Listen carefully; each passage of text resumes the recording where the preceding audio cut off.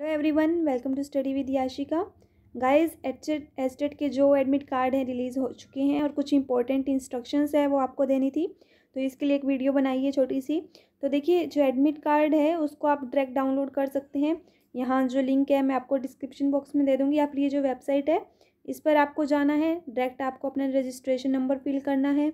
Okay password डालना है then captcha fill करना है और उसके बाद जो है आपके पास पेज ओपन हो जाएगा, वहाँ लेफ़्ट साइड पर एडमिट कार्ड पर क्लिक करना है एंड देन उसका प्रिंट आउट ले लेना है। आपको ध्यान क्या रखना है, वहाँ पर दो कॉपी निकलेंगी, एक एग्जामिनर कॉपी एक कैंडिडेट कॉपी तो वो दोनों कॉपी आपको निकलवानी है और उसको गेस्टेड ऑफिसर से जो है मतलब कि या फिर कोई भी आपके पास में जो भी गवर्नमेंट एम्प्लॉयज़ लाइक प्रिंसिपल हैं तो उनसे अटेस्टेड करा लेना है, ठीक है? ताकि आपको एग्ज़ाम सेंटर में प्रॉब्लम ना हो।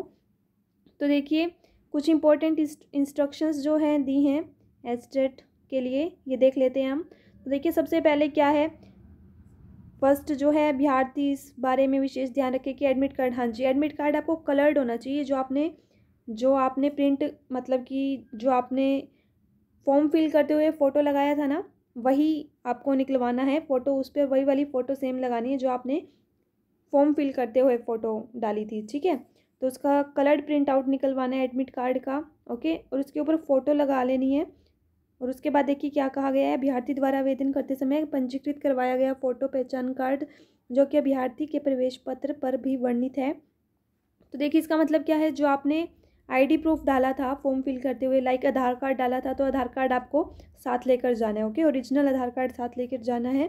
उसके बाद क्या बोला गया है, अभ्यर्थी टाइम से पहुँचें तो यानी कि जो है एग्ज़ाम से आपको यहाँ पर दो घंटे दस मिनट कहते हैं, लेकिन एक घंटा तो आपको पहले पहुँच जाना है, और वहाँ पर आपकी बायो मैट्रिक होती है, ठीक है? उसके बाद अभ्यर्थी को किसी भी अवस्था में केंद्र परिवर्तन हाँ जी, आपका सेंटर चेंज नहीं हो सकता। जो सेंटर आपका एग्ज़ाम में आया है, जो रोल नंबर में आया, वही रहेगा।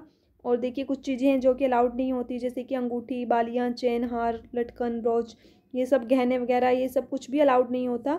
मोबाइल कैलकुलेटर वॉच एक्सेट्रा तो ब्लूटूथ वगैरह, ये सब कुछ भी अपने साथ कोई भी गैजेट्स लेकर नहीं जाने हैं आपको, ठीक है? कोई भी पेपर कुछ भी नहीं लेके जाना। और उसके बाद जो है महिलाओं के लिए कुछ एक्सेप्शंस हैं जैसे कि मंगलसूत्र बिंदी सिंदूर वो लगा सकती हैं और सिख कैंडिडेट्स को अपने धार्मिक प्रतीक ले जाने की अनुमति है। सो so, ये आपको पहले ही बता दिया मैंने सेंटर कॉपी और कैंडिडेट कॉपी दोनों कलर्ड कॉपी आपको लेकर के जानी है और दोनों को जो है राजपत्रित अधिकारी यानी कि आपके आस पड़ोस में कोई स्कूल होगा वहाँ प्रिंसिपल से आप अटेस्टेड करा लेना अटेस्टेड ज़रूर करवा के जानी है ठीक है? तो बस यही है इंपॉर्टेंट इंस्ट्रक्शन और आपको जो है कोविड नाइन्टीन के चलते मास्क ज़रूर लगा करके जाना एग्ज़ाम में।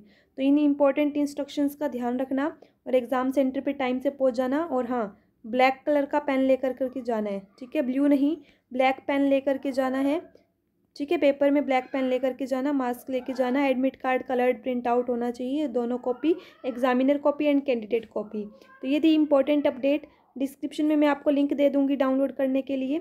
इसी तरह से important updates and important videos के लिए चैनल पर बने रहें। Thank you so much bye